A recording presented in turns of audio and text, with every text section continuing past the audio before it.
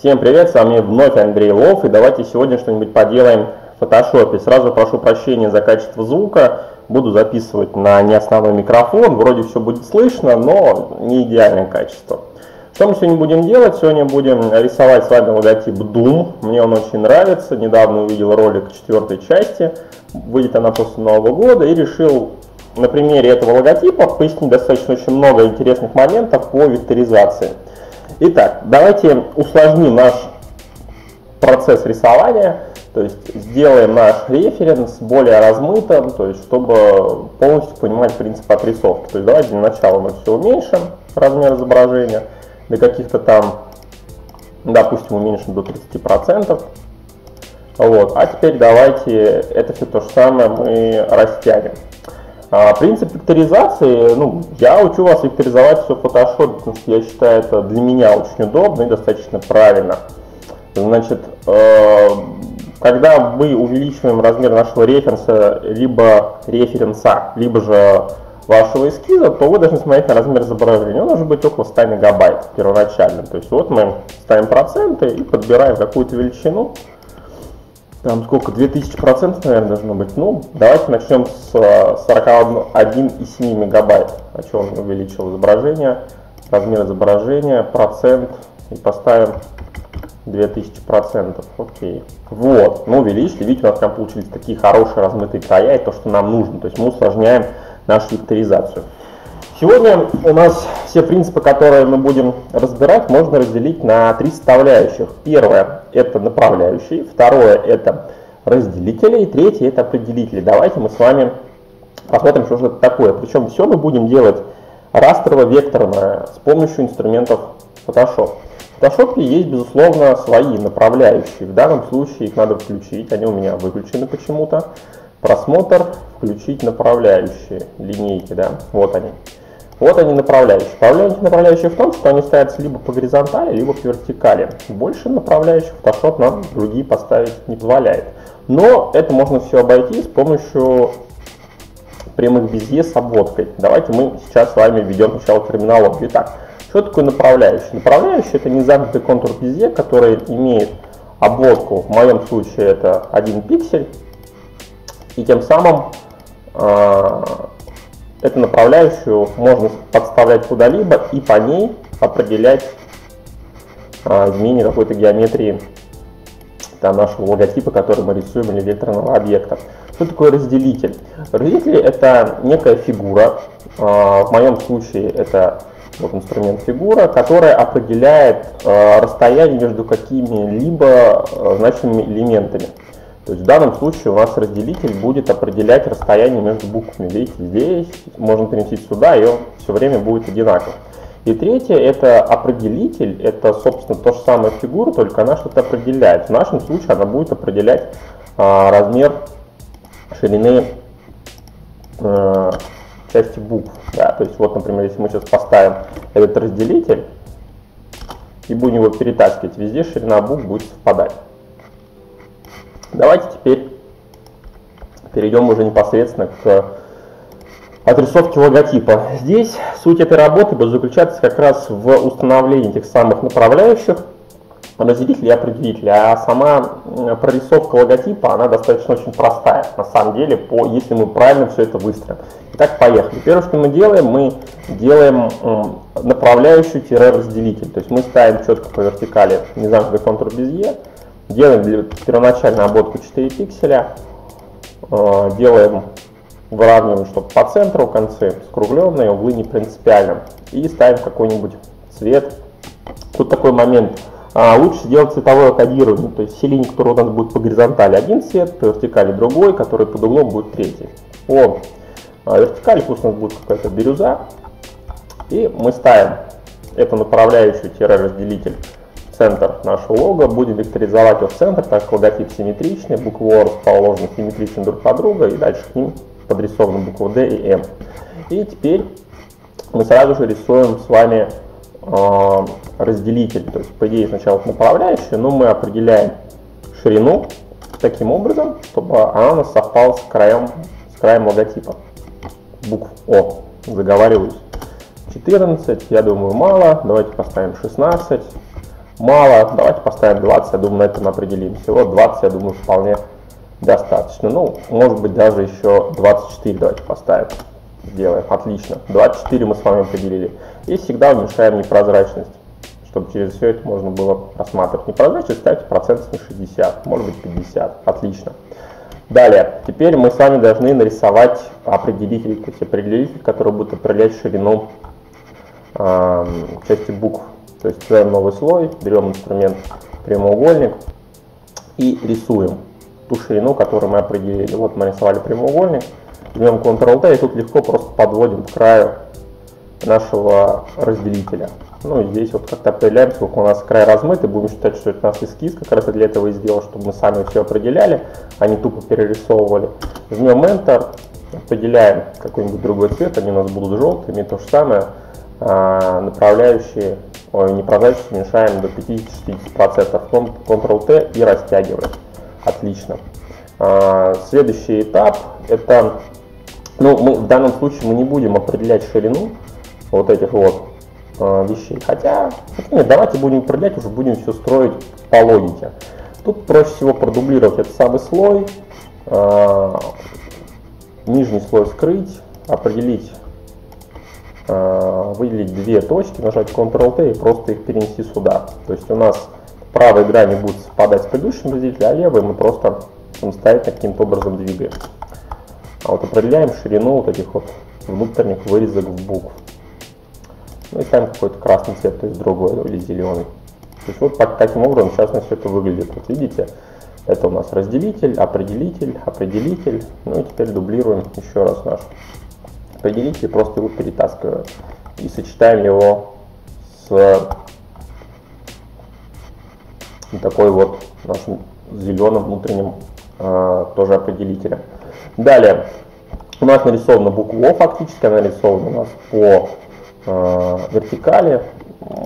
Тут все очень легко, достаточно все это скопировать, все эти три слоя, отразить их по горизонтали, хотя они должны быть в принципе симметричны, и просто перенести их и поставить их в край нашего разделителя с другой стороны. Вот таким вот образом. То есть наши буквы теперь абсолютно симметричны. В следующий момент продолжаем букву D, букву M рисовать. То есть сейчас мы идем только по вертикалям. Сначала мы дублируем наш разделитель, перетаскиваем его и ставим его четко э, рядом с желтым разделителем. Есть. Далее дублируем желтый, перетаскиваем. Ну и тут принцип простой, я думаю, вы уже поняли. То есть просто определяем э, правильность геометрии нашего логотипа. Далее находим, где он тут зеленый цвет наш. Ой, надо его вот, зеленый, видите, плохо считывается, поэтому нужно поставить другой. Вот, красный считывается хорошо, но единственное, что его нужно уменьшить непрозрачность. Переносим красный. И снова же желтый. Перенесли. Ставить рядом. Есть. Отлично. Ну и теперь то же самое с буквой М нужно сделать. Сначала переносим наш бирюзовую, наш разделитель. Потом переносим наш желтый разделитель. Ставим в края. А, далее у нас здесь, ну, суть по всему, здесь тоже можно посмотреть, но вот эта вот часть буквы М, она также входит в вот как раз у наш четко красный разделитель. Поэтому также можем поставить и продублировать еще желтый. То есть у нас логотип абсолютно симметричный. То есть все буквы, видите, они, если мы от этого центра посмотрим лево-вправо, станет где одинаковый. То есть логотип абсолютно симметричный. Так, вот мы первое, что сделали, мы с вами выстрелили вертикально наши разделители. Теперь все это можно загнать в группу, назвать это как цифра 1 и еще понизить непрозрачность, когда будем отрисовывать, чтобы было более удобно все это строить. Давайте сохраним сразу на рабочий стол, чтобы, не дай бог, ничего не удалилось. Лого Doom. Ага, нет, на русском. Лого, Doom. Есть. Окей. Следующим этапом теперь мы строим наши уже направляющие. Это не будут у нас разделители, а будут как раз направляющие. Сейчас мы берем с вами, вытаскиваем одну бирюзовую направляющую поверх этой папки.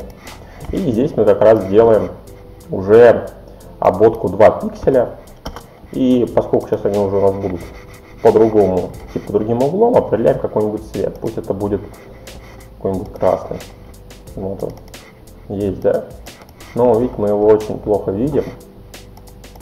Но это как раз так и должно быть. То есть, когда мы строим именно направляющие растровые, лучше их делать тонкими. Дальше жмем Ctrl-T и определяем величину э, направляющей, не величину, а угол. То есть, вот исходя из углов, которые у нас есть в референсе. То есть, ну, это вы могли в эскиз сами определить.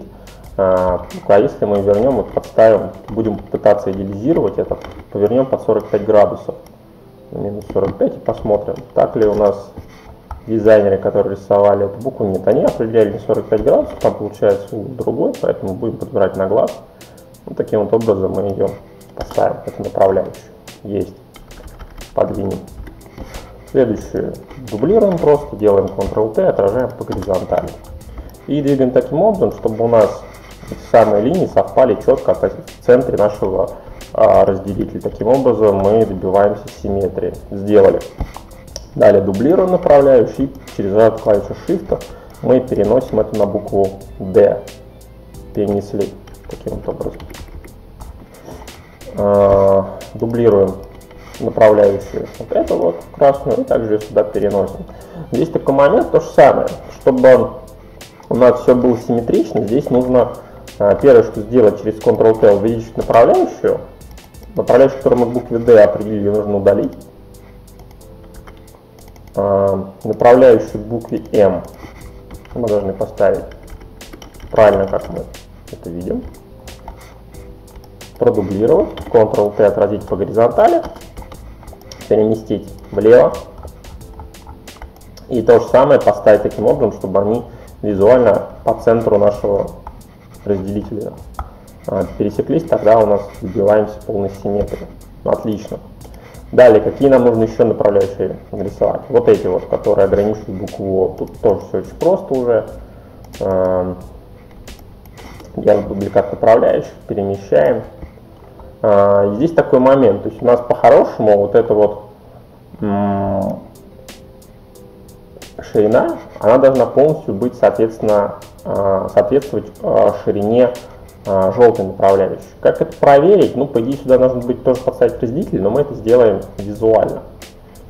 Итак, одну направляющую ставим сюда, вторую направляющую Ctrl-T, отражаем по горизонтали и вставляем другой буквы О. И тоже смотрим, чтобы они направляющие у нас пересеклись в центре нашего разделителя. Есть. И теперь э, давайте так, мы сейчас с вами определим направляющие для а, внешних форм. Сначала нарисуем внешнюю форму D, вот эту дума, потом вычтем вот эти внутренние уже объекты. Следующие у нас направляющие, которые у нас должны быть, это направляющие, которые у нас срезают букву О, букву D, а, М, вот эти вот направляющие. То есть мы их просто должны выстроить. То есть мы сейчас должны представлять, что вот мы идем по направляющим мы строим просто внешний контур.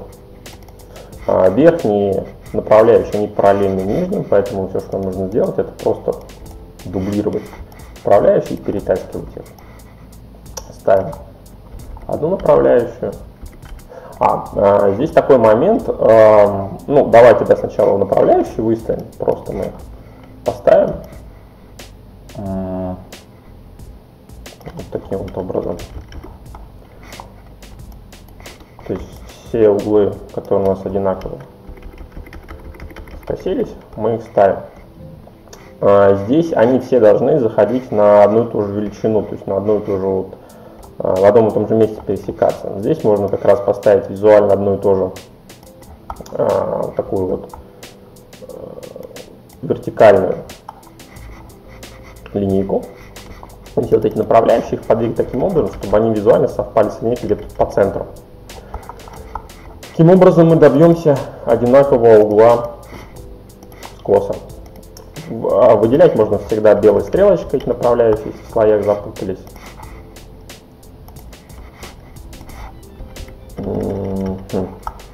сделали. Теперь нам нужно сделать то же самое, только уже... А, нет, подожди, здесь, наверное, еще один надо поставить, вот букву D. Да, они тоже здесь. Есть. Но видите, здесь угол, он заходит ниже, чем вот этот раскос, поэтому здесь его можно поставить как, как нам нравится. Вот таким вот образом. А, и теперь э, все это отражаем. Ctrl-T по горизонтали. И все то же самое ставим, только теперь для других углов среза. Ну, здесь все просто, здесь мы уже ставим таким образом, чтобы они пересеклись по центру. Раз поставили, а, два поставили. Что у нас там еще, где у нас надо поставить? Здесь поставили, здесь поставили. А, ну, нужно еще вот здесь поставить букву М. Ну, здесь то же самое, чтобы все идеально совпало, мы поставим вниз направляющую и поставим крайнюю направляющую таким образом, чтобы у нас четко в этой точке у нас все пересеклось. Вот, мы поставили. Если направляющую можно удалить. Просмотр удалить направляющий. Все, и теперь осталось только определить нам верхнюю границу э, нашего логотипа и внешний контур Дума можем уже рисовать. Э, чтобы его определить, нам нужно вытащить один из желтых разделителей, так как у нас, я так понимаю, ширина... Если мы посмотрим, соответственно ли нам ширина вертикального штриха и горизонтального. Давайте мы вытащим какую-нибудь желтую направляющую. Желтый наш разделитель, Ctrl-T, по 90 градусов отразим. Сделаем его очень-очень широким. Изменим какой-нибудь ему цвет, поставим какой-нибудь другой. Ctrl-T и переместим вверх логотип. И посмотрим. Да, как мы видим, у нас штрихи не совпадают, так как горизонтальный штрих он толще, поэтому жмем Ctrl-T и определяем ширину штриха. Вот таким вот образом. Есть. А, собственно, теперь все, можно рисовать уже внешний контур. Это тоже можно загнать все в папку, нажать 222. И теперь мы спокойно, очень просто, потому что когда есть все эти определители, направляющие, вообще вся работа превращается в элементарное построение точек. То есть мы теперь просто ставим поверх всего этого такой слой, берем инструмент фигура и поехали ставить точки в пересечениях наших направляющих определителей. То есть все очень просто. Ставим раз точку. Но точка ставится, вот как вы видите, это все-таки это пиксельная обводка. Мы вот интерпретируем это как квадрат. Вот он, квадратик. И ставим четко по центру квадрата. Вот. Надо было поставить. Вот видите, визуальный квадрат. Вот мы четко поставили и определили. Все. Идем вверх до пересечения. Нажимаем клавишу Shift, чтобы четко все поставилось у нас по горизонтали, по вертикали и так далее. То есть все вообще банально, примитивно э, построение внешнего контура, потому что э, надо просто поставить, поставить точки. Все. Далее жмем сюда, вот у нас видите визуальный квадрат по центру. Идем вниз до линии определения. Ой. И, собственно, замыкаем контур. А вот чтобы теперь показать, что у нас получилось, нам достаточно все выключить. И вот видите, как мы с вами легко а, нарисовали внешний контур буквы D. То есть, вообще элементарно, правильно? И рисуем так далее абсолютно все внешние контура наших букв. То есть э, сама буква, она будет вообще рисоваться там за какое-то там минимальное время. То есть тут все время, которое вы будете реально тратить, это как раз принцип построения. А, тут вот момент, который мы забыли, да. Тут же буква имеет как бы такой кончик, поэтому надо нам сейчас будет перерисовать. Мы сейчас отменим предыдущую, предыдущую точку. Да, вот эту вот мы сохраним. Нам нужно будет поставить еще две направляющих, вот эти вот, которые будут давать вот этот носик букве D и букве M. Про это я забыл. А, еще мы забыли определить э, направляющие для M, для внутренних. То же самое сейчас давайте сразу сделаем. Ну, тут тоже все легко. Дублируем одну из направляющих, перетаскиваем ее, э, жмем Ctrl-T, чтобы побольше была. Вот ну, сюда подводим. Вот наш будет вот носик, я не знаю, как его назвать. Дублируем, Ctrl-T, отражаем по горизонтали. И тут вообще даже наша задача просто, чтобы они вот эти две направляющих, они просто совпали по центру. То есть мы даже можем смотреть, как там носик у буквы получится. Он явно должен быть симметричный, вот он симметричный получился. И теперь давайте определим вот эти вот буквы М, направляющие у нас. Также можно продублировать слой, здесь его уменьшить, подвести.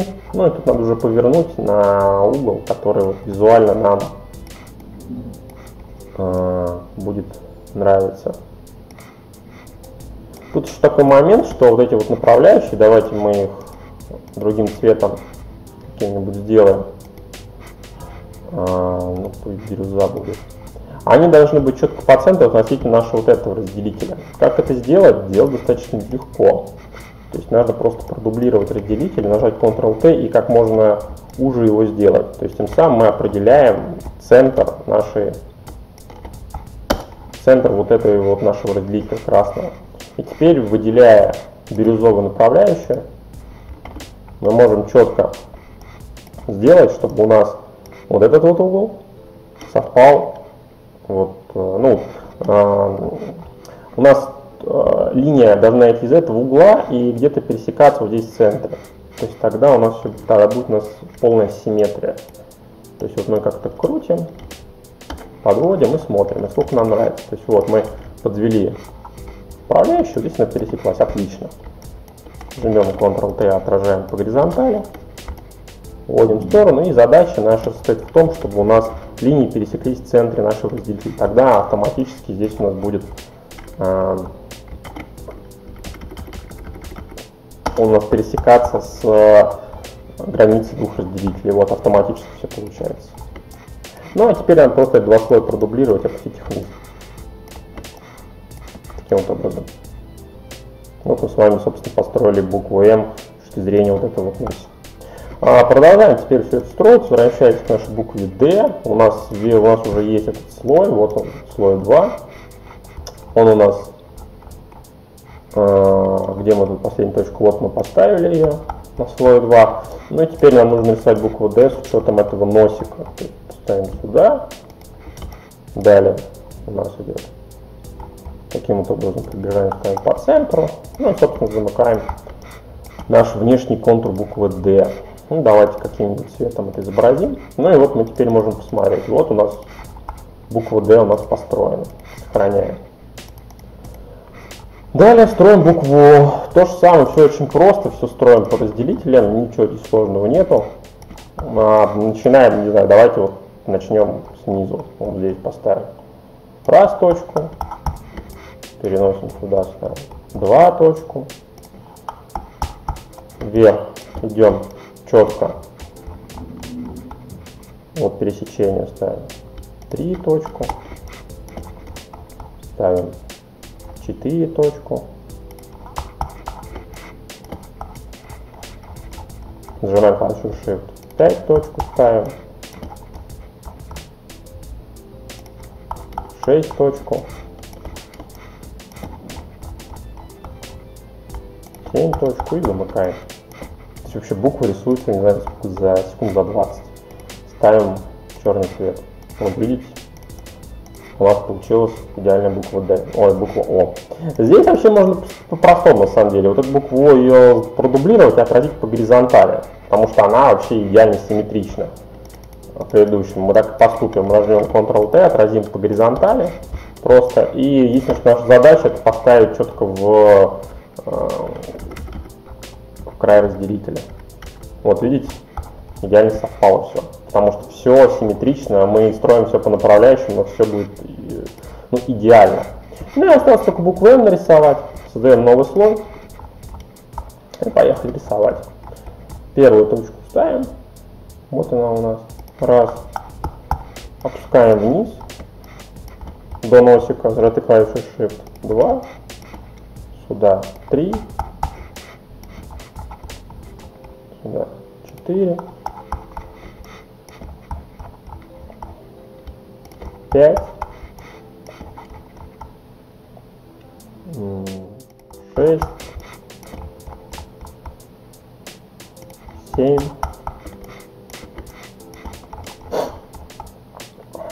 восемь.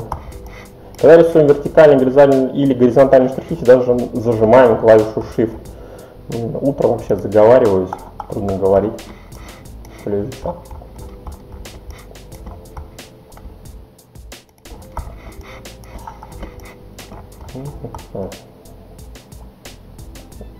Ну вот, как видите, тут вообще ничего сложного нету. Элементарно представление точек. То есть тут уже работа после того, как все верно поставлено, она просто элементарная. И каждая буква рисуется секунд по 20.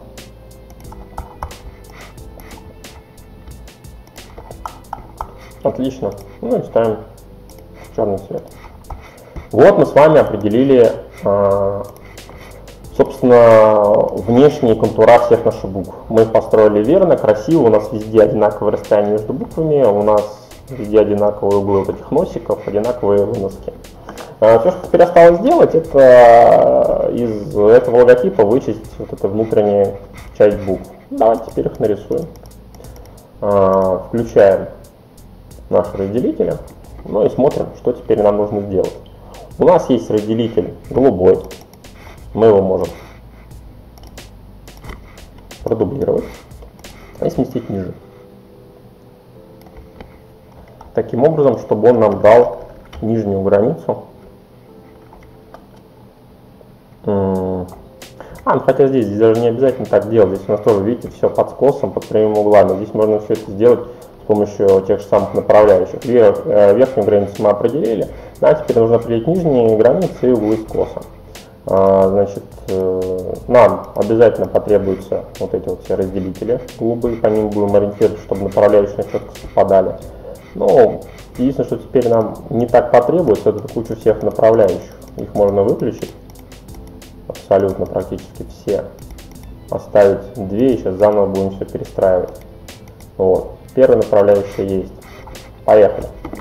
Вот мы определяем раз линию, дублируем ее, определяем, делаем по горизонтали. Нет, подождите, надо ее продублировать было. Неверно я сделал. Дублируем, Ctrl-T по горизонтали. И все то же самое просто. Делаем так, чтобы у нас эти направляющие совпали в центре разделителя. Есть дублируем, уносим вверх, потому что здесь у нас тоже идет некая, эм, я не знаю как сказать, некий срез внутри букв. Вставляем направляющую, Ctrl-T, делаем по горизонтали. Ставим таким образом, даже не смотрим на букву, просто ставим таким образом, чтобы у нас по центру направляющие совпали. Есть. Следующий этап, это у нас, что тут? Мы должны поставить а, здесь у нас линия есть, она уже определена ширином штриха. Здесь, а, а да, должны теперь поставить разделитель вот здесь. Здесь разделитель должен таким образом стать, чтобы вот эти линии у нас совпали, пересечения. То есть вот поставили, ну, я прям даже четко поставил таким вот образом. Вот. Угу. Дополнительно теперь все это можно увеличить, чтобы у нас сейчас появилась точка пересечения Ctrl-T, отразить по горизонтали. И смотрим таким образом, чтобы опять же у нас направляющие совпали в центре нашего, нашего разделителя. Ну и смотрим, все ли мы построили. Здесь есть, здесь есть. А вот эти скосы, да, наверное, нужны еще нижние. А, здесь, да-да-да, здесь у нас будет острый угол мы оставим, нужны еще косы э, внутри буквы О. То есть вот таким вот образом мы их ставим. Ctrl-T по горизонтали. И, и, и, и также ставим, чтобы направляющие у нас пересекались в центре разделителя. Поставили. Есть. Ну и все. Нам теперь осталось нарисовать вот эти два пока именно для букв О. Создаем новый слой и поехали рисовать. Тут вообще все элементарно, опять же все просто. Ставим раз точку, нажатой клавишей Shift, ставим два точку, ставим три точку, нажатой клавишей Shift, ставим 4 точку, 4 точку, ставим точку 5, ставим точку 6 и замыкаем. А, нет, еще сюда ставим точку 7 и замыкаем. Вот мы получили с вами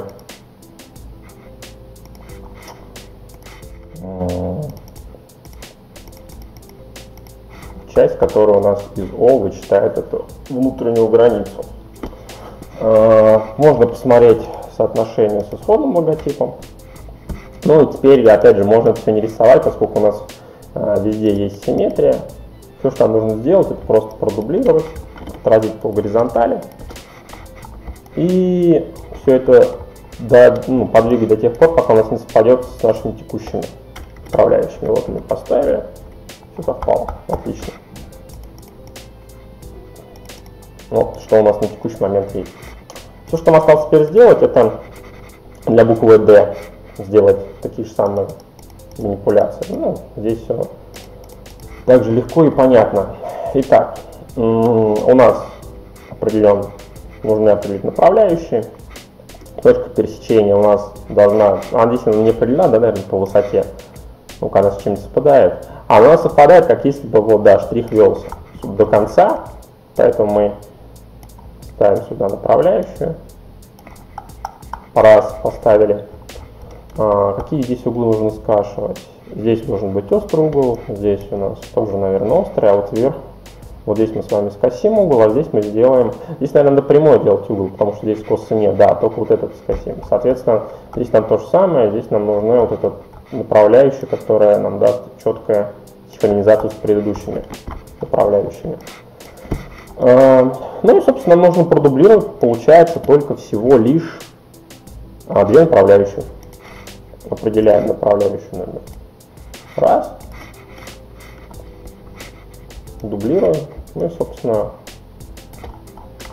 смотрим, чтобы эта направляющая пересеклась вот в этой точке. Есть. И определяем направляющую 2. Вот. Всего здесь нужно две направляющие нам поставить, на самом деле. Вот она направляющая, которая дает нам скос угла. Поставили. Все. Голубые направляющие можно удалить.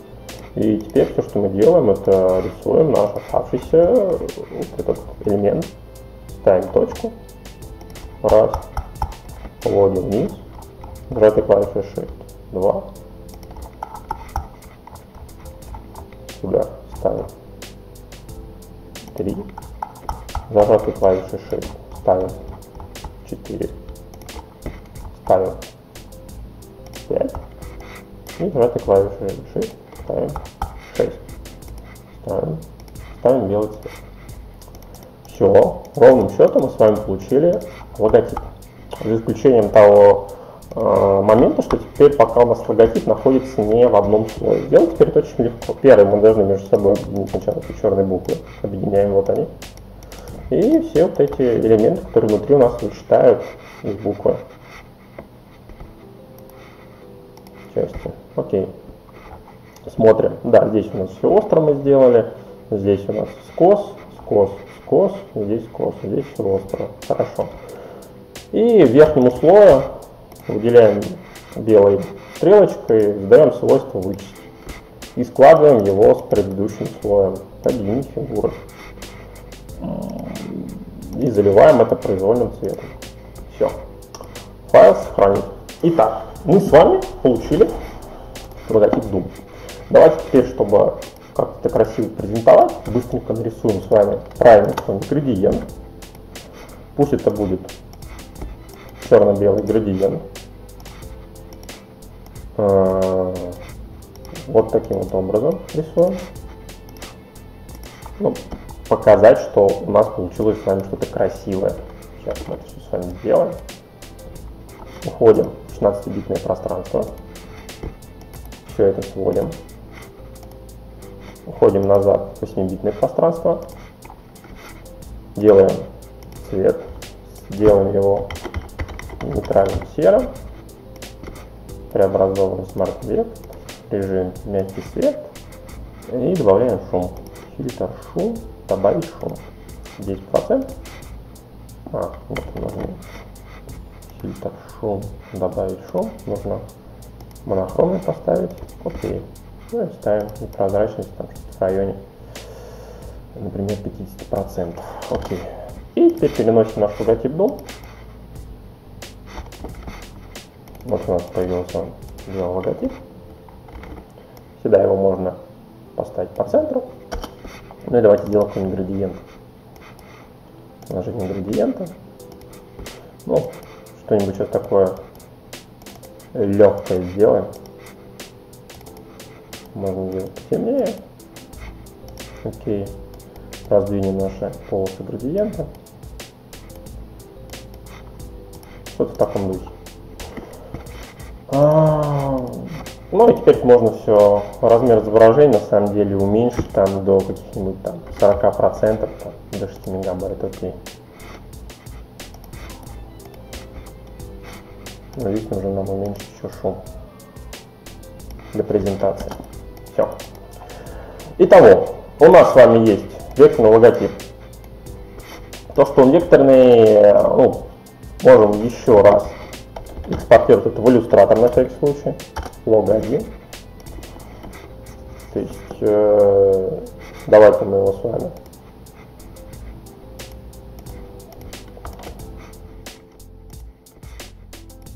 просто перетащим иллюстратор. Ой, так, удалить направо, удалить. Ой, почистить стиль слоя, да, иначе он просто там в иллюстратор правильно не перенесется. Откроем вот в иллюстраторе PSD. Ну, для тех, кто считает, что в фотошопе э, нельзя рисовать векторные объекты, ну, разумеется, нужно все-таки показать. Ну и вот у нас, собственно, получился векторный логотип иллюстратора. Так его можно здесь посмотреть, хотя вернем здесь назад, мне больше здесь нравится, как он смотрелся. Тоже можно выделить все это белой стрелочкой и посмотреть. Вот мы с вами получили красивый, идеалистичный, правильный логотип Дума. А, давайте выключим все эти, весь этот цвет и посмотрим только на сам контур. Вот он, у нас получился контур. Что мы с вами сделали? Мы построили с вами логотип на основании разделителей, на основании направляющих. А, и получили идеализированный красивый геометрический логотип, симметричный. А, вообще вот эти вот направляющие, разделители и так далее, в принципе, основа построения красивых логотипов. То есть надо думать не о том, как логотип нарисовать, а о том, как правильно выстроить эти все направляющие. Я вам объяснял, наверное, достаточно долго все, но объяснял и старался делать это не быстро, чтобы вы могли уловить суть. Разберите этот ролик, очень много полезной информации будет для вас. В действительности этот логотип Думба, если я бы сейчас сидел бы у себя бы на работе по хорошую музычку, я бы его нарисовал, наверное, ну, минут, может быть, за 10 я бы его отрисовал, может быть, за 8 даже. То есть, ну, это на самом деле достаточно простой логотип, если вы, конечно, понимаете, как его рисовать, тогда он простой. Вернем назад. Все, на сегодня ролик закончен. Э, напишите свои комментарии. Э, может быть, э, киньте мне на страничку ВКонтакте, в группу логотип, который вы бы хотели, чтобы я бы разобрал, отрисовал их и показал, каким образом он рисуется. На сегодня, думаю, все. С вами был Андрей Лох. Услышимся. Всем пока.